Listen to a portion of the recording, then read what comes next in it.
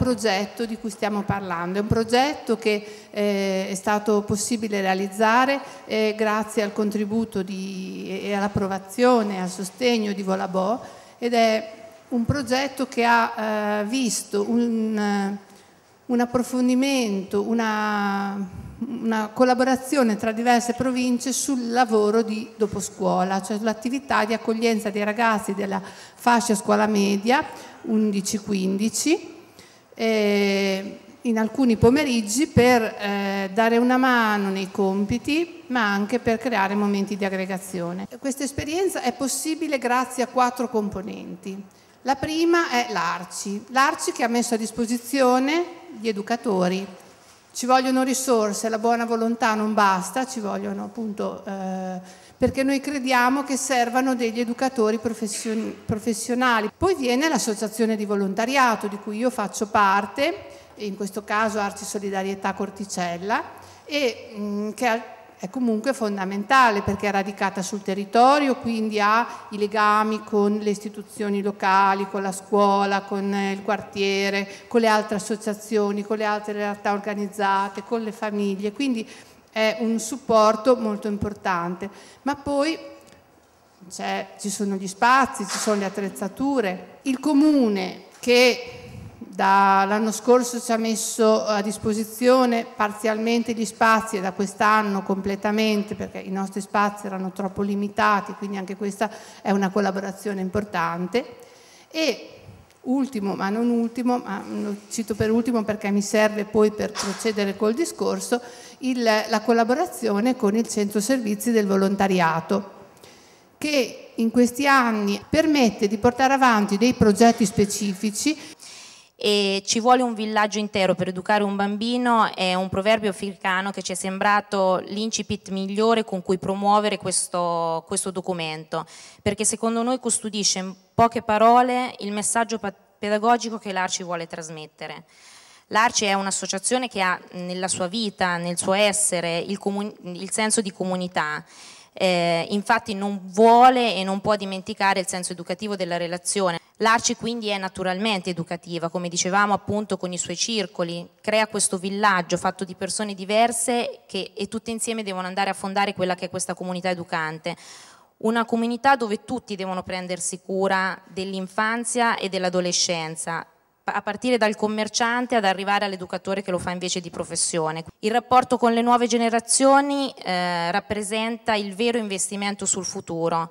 e temi come le pari opportunità, l'intercultura, la partecipazione democratica, il diritto allo studio e l'accesso anche alla cultura, ormai forse difficile, sono alla base del lavoro educativo che l'Arci eh, fa ogni giorno, quindi nella sua pratica quotidiana, ma anche nella progettazione. Un progetto educativo è però necessariamente anche un progetto politico, è un progetto che deve eh, costruire una comunità attiva e partecipante, ehm, che genera al suo interno degli strumenti differenziati a seconda del ragazzo e della persona che ci troviamo davanti. Infatti gli spazi educativi sono quelli dove è possibile organizzare sia un percorso aggregativo dedicato ai bambini attraverso i circoli, le scuole, gli spazi pubblici, i luoghi dove noi generalmente appunto svolgiamo le nostre attività, ma sia quello dove l'interazione avviene con più libertà e naturalezza, come i cortili e le strade. Inoltre l'Arci ovviamente sostiene oltre a questi spazi educativi anche la centralità della scuola pubblica unico strumento di riscatto sociale e di formazione della coscienza civile. Queste sono due affermazioni molto importanti. Alla scuola però, come abbiamo appena detto, deve potersi accostare un sistema culturale esterno, in modo che la crescita dell'individuo possa intrigarsi con una scoperta del mondo al di fuori delle mura scolastiche. L'Arci propone quindi una pedagogia dell'aggregazione, dello scambio, una pedagogia politica, una pedagogia di comunità. Il Comune ha deciso di mettere in piedi un ehm, un progetto importante che ha visto eh, una riqualificazione di quella zona eh, e ha visto la costruzione anche di nuove strutture che hanno permesso eh, di, la nascita di questa fattoria urbana eh, che è un'esperienza se non unica direi la terza o la quarta su tutto il territorio nazionale, eh, fattoria che ehm, ha una serie di realtà, rappresenta una serie di realtà agricole in città, cioè la particolarità sta proprio in questo. e eh, come circolo ci siamo dedicati ad un'attività didattica per i bambini dalle scuole d'infanzia, materne, elementari e devo dire hanno visitato anche alcune medie eh, per mh, avvicinare i bambini al mondo agricolo attraverso gli orti e eh, al mondo animale attraverso la eh, conoscenza degli animali che sono nel nostro, nelle nostre stalle. La prima fase fondamentale dell'educatore di strada è eh, la conoscenza dell'ambiente. L'educatore di strada deve assolutamente conoscere bene quello che è l'ambiente in cui, in cui lavora, quindi conoscerlo in tutti diciamo, gli angoli, gli scorci. Questo cosa vuol dire? Vuol dire mh, ricostruire i profili della comunità. Poi c'è un profilo demografico, poi c'è un profilo anche occupazionale, perché noi dobbiamo anche sapere quali sono le attività economiche presenti sul territorio.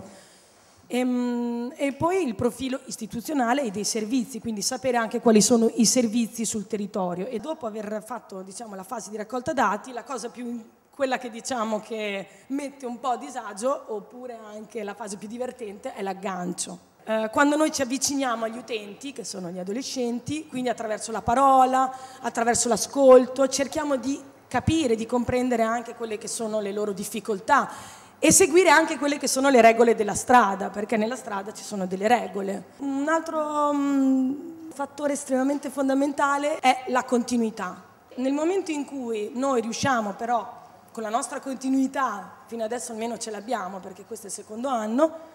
Mm, conoscendo anche i gruppi, perché ne, ne, seguiamo differenti, riusciamo a fare il passaggio successivo, che è quello dell'entrare in confidenza con loro e di poter eh, proporre delle alternative. L'ultima cosa, volevo solo dire, il, um, il vantaggio che l'Arci porta in un progetto di eh, educativa di strada. E noi educatori cerchiamo di, mm, in questo spazio, diventare un punto di riferimento adulto positivo, in quanto... Il, um, la base fondamentale del nostro lavoro è la relazione, ossia senza relazione con i ragazzi non si, nessun, non si ottiene nessun risultato. E quindi la, una variabile fondamentale è il tempo, ossia prima di poter fare un lavoro con loro c'è bisogno di un tempo per la conoscenza, un tempo affinché sia noi conosciamo loro, sia loro hanno la possibilità di conoscere noi e fare in modo che abbiano fiducia di noi, perché sennò qualsiasi nostra parola mh, mm, entra da una parte ed esce dall'altra. Eh, gli educatori che stanno in questo posto c'è una figura femminile che sono io, una figura maschile che è Calogero, che purtroppo oggi non è potuto venire, e inoltre il centro è arricchito dalla costante presenza de, degli educatori di strada, che anche loro sono delle figure di riferimento per i ragazzi,